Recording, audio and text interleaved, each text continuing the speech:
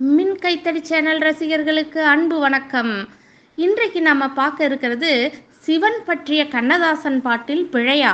பதறிய இயக்குனருக்கு கூலாக பதில் சொன்ன கவிஞர் கண்ணதாசன் திருவிளையாடல் படத்தில் சிவன் பற்றி எழுதிய பாடலில் ஒரு பிழை இருப்பதாக கூறி பதறிய இயக்குனர் ஏ பி நாகராஜுக்கு கவிஞர் கண்ணதாசன் கூலாக பதிலளித்த ஒரு சுவாரஸ்யமான சம்பவத்தை இங்கே பார்ப்போம். தமிழ் சினிமா பாடல்கள் என்றாலே எழுபதுகளைச் சேர்ந்தவர்கள் பலரும் கவிஞர் கண்ணதாசன் போல எழுத முடியுமா என்று கேட்பார்கள். காதல் காமம் சோகம் கொண்டாட்டம் பிறப்பு இறப்பு என எல்லா சூழ்நிலைகளுக்கும் கவிஞர் கண்ணதாசன் பாடல்களை எழுதியுள்ளார்.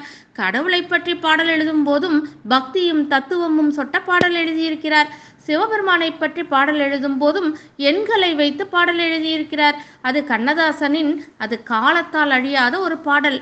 திருவிளையாடல் படத்தில் இசையமைப்பாளர் கே. வி. மகாதேவன் இசையில் கவிஞர் கண்ணதாசன் எழுதி கே. பி. சுந்தராம்பாள் பாடிய அந்த பாடல் மிகவும் புகழ்பெற்ற பாடலாகும். ஒன்றானவன் உருவில் இரண்டானவன் உருவான செந்தமிழில் மூன்றானவன்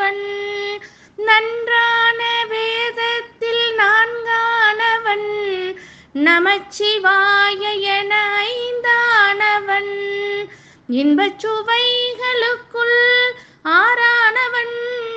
இன்னிசை ஸ்வரங்களில் ஏழானவன். சித்திக்கும் பொருள்களில் எட்டானவன். தித்திக்கும் நவரச வித்தானவன். தித்திக்கும் நவரச வித்தானவன். பத்தானவன் நெஞ்சில் பற்றானவன். பன்னிருகை வேலவனை பெற்றானவன். முற்றானவன் மூல முதலானவன். முன்னைக்கும் பின்னைக்கும் நடுவானவன். முன்னைக்கும் பின்னைக்கும் நடுவானவன் என்ற பாடல் மிகவும் புகழ்பெற்ற பாடல். இந்த பாடலை கவிஞர் கண்ணதாசன் எழுதிய பிறகு அந்த படத்தின் இயக்குனர் ஏ பி நாகராஜுக்கு ஒரு சந்தேகம் எழுந்துள்ளது. இயக்குனர் ஏ பி நாகராஜ் தனது சந்தேகத்தை கேட்டுள்ளார். கவிஞரே ஒன்றிலிருந்து பனிரெண்டு வரை எழுதியுள்ளீர்கள். ஆனால் பத்துக்கு பிறகு பனிரெண்டு வருகிறதே. பதினொன்று எங்கே என்று கேட்டிருக்கிறார். இதற்கு கவிஞர் கண்ணதாசன் பாடலை நன்றாக ஒரு முறை கவனியுங்கள். இறைவன் முன்னைக்கும் பின்னைக்கும் நடுவானவன் என்று அதாவது பத்துக்கும் பன்னிரெண்டுக்கும் நடுவான பதினொன்று அதில் அடக்கம் என்று கூறியிருக்கிறார். இத்தகைய பாடல்களுக்கு இலக்கியத்தில் என்ன அலங்காரம் என்று கூறுவார்கள்? கண்ணதாசன் திருவிளையாடல் படத்தில் சிவபெருமானுக்கு எழுதிய என் அலங்கார பாடல் இன்றைக்கும் பிரபலமான பாடல்தான். இதுபோல இன்னும் சுவாரஸ்யமான பல தகவல் தகவல்களை கேட்டு மகிழ்வோம்.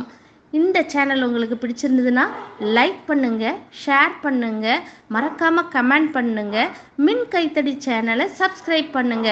சொல்லாக்கம் நிர்மலா ராஜவேல். நன்றி வணக்கம்.